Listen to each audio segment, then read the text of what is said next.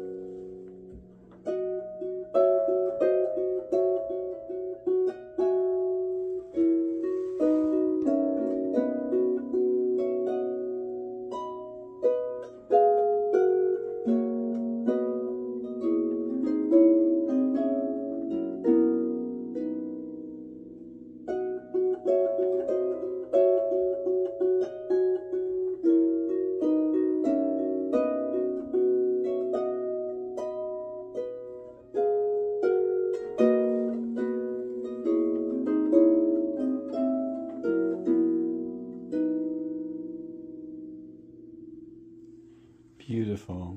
Now I need my Becky's going to explain the pedal system on her harp.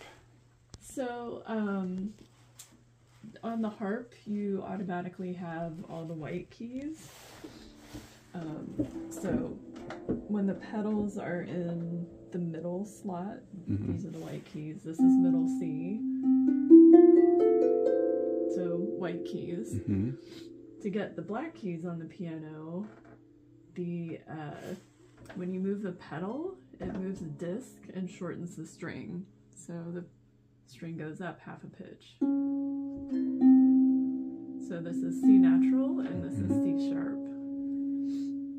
The cool thing about the harp is you can also have C sharp and D flat at the same time. Oh. So you have the Mhm. same same tone, which is why the harp ends up sounding so pretty. Wow. Yeah. So, how many selections are there down there on the floor? So when the pedal is up, it's flat. When the pedal is in the middle slot, it's natural, and when it's in the bottom slot, it's sharp. Oh, so you have seven pedals, one for each Wow. uh, tone of the scale.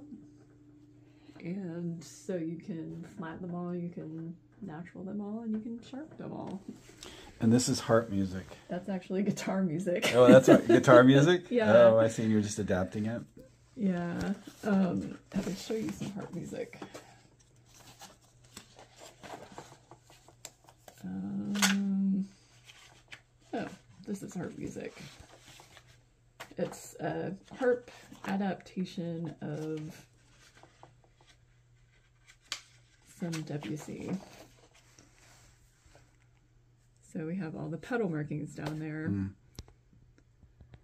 So- Like, if you were going to play this first thing, what would that Mm-hmm. sound like? Um, I can give you an approximation. I can't play this very well. Okay.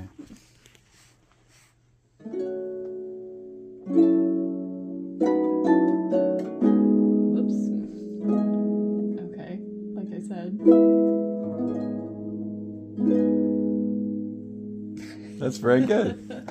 It's a beautiful instrument.